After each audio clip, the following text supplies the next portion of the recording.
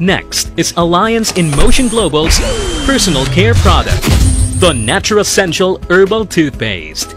This is an all-natural toothpaste with bee propolis, piper betel extract, tea tree oil, myrrh extract, and aloe vera extract.